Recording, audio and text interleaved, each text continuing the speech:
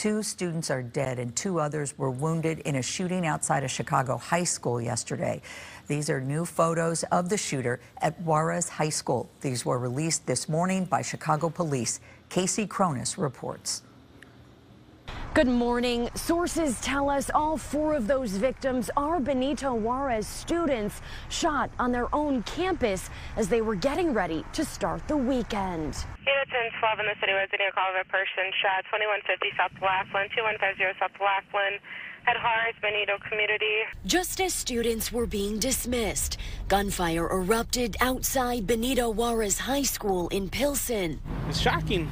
Around 2:40 p.m., parents like Emmanuel Orozco got frantic phone calls from their children as first responders rushed to the school. The security guards in the school were telling them go to the nearest classroom. Police say four teens were shot. Hearing all this shootings in the schools is, is scary.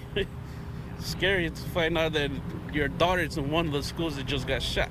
The victims were taken to Stroger Hospital, where family members gathered throughout the evening. A 14 year old and 15 year old boy were both shot in the head and died.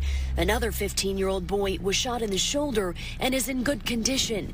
And a 15 year old girl who suffered a graze wound is also expected to be okay. We have pod camera throughout the neighborhood, so we're reviewing all of that camera as well as our teams our area technology teams, they respond to shootings. Superintendent Brown says there is no one in custody yet. So all of us are trying to find answers. Um, of course, I'm very concerned because this happened on our grounds. Chicago Public Schools CEO Pedro Martinez, who is also a graduate of Juarez, says they will be providing counseling support to students.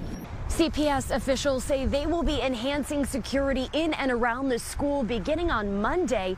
Next Thursday marks the last day of class before winter break.